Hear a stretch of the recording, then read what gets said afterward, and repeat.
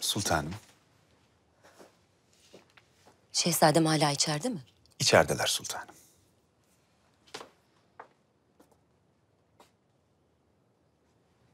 Mustafa? Manisa'ya haber yollayın validem. Hususi eşyalarınızı göndersinler. Ne oldu ki hünkârımız? Sefer boyunca burada kalacağız. Sonrasında ise Amasya'ya gideceğiz birlikte. Zira Amasya Sancak Bey tayin edildi.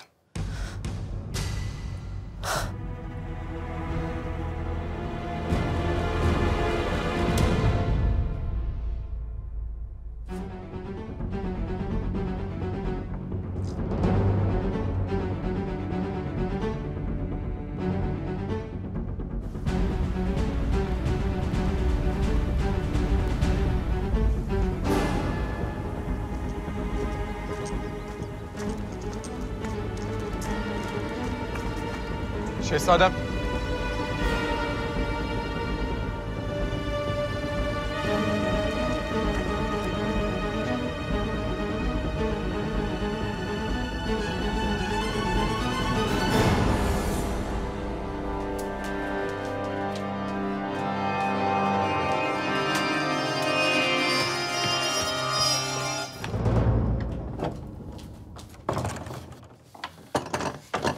Sultanım.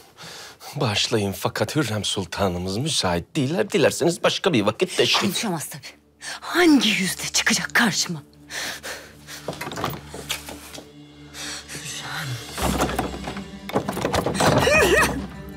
Allah seni kahretsin Hürrem! Bu saraya geldiğin güne lanet olsun! Duyuyor musun beni? Sultanım ne olur yapmayın. Sakin olun.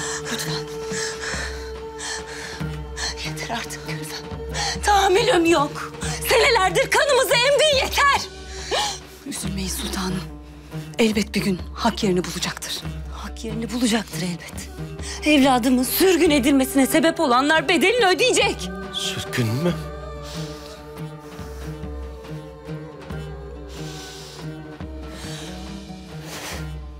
Sultanına söyle, bu yaptığı yanına kalmayacak. Allah şahidim olsun ki onun da, ona hizmet eden gafillerin de sonu yakın.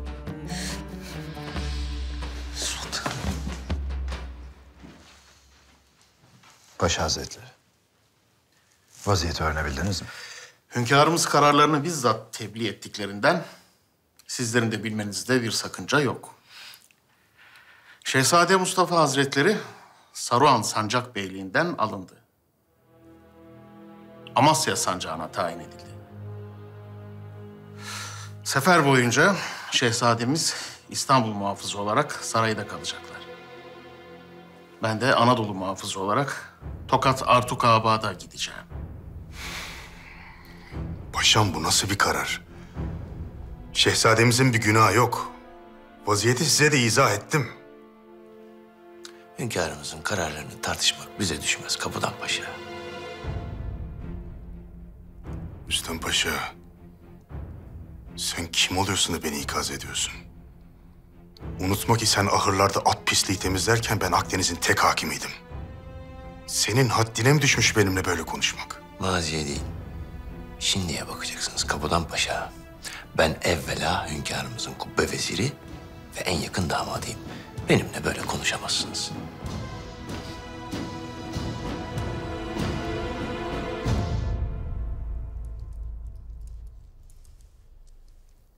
Bu yüce devlete vezir-i azam olsan ki ne fayda? Benim gözümde zerre kadar kıymetin yok senin. Senin bu makamları kimlerin getirdiği malum. Kadınlar olmadan bir hiçsin sen.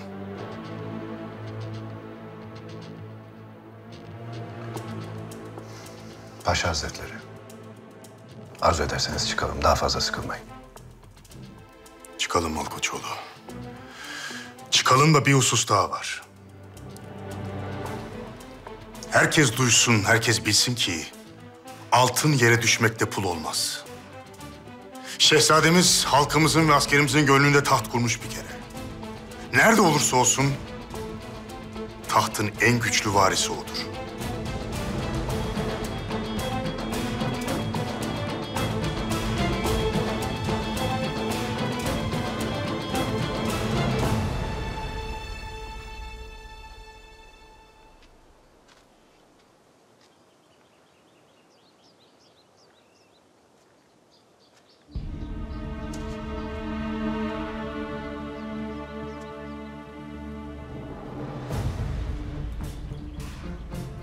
Mehmet doğduğu gün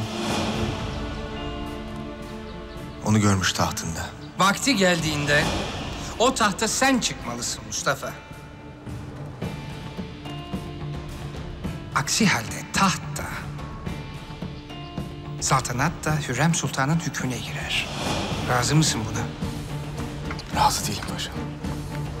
Asla razı olmayacağım buna.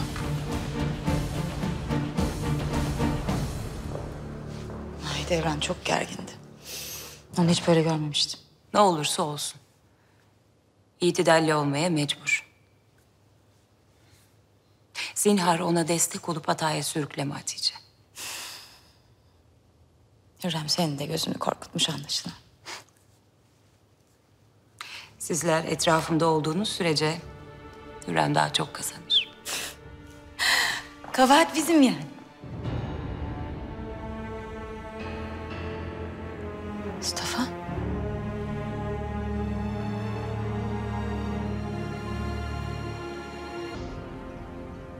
Destur!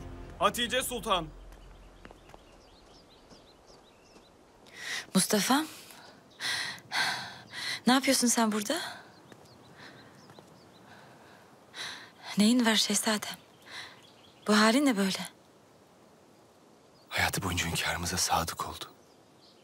Bir kez bile isyan etmedi, ihanet etmedi. Lakin karşılığında ne gördü? Sırf beni sevdi diye, kol kanat gerdi diye, korudu diye kıydılar ona.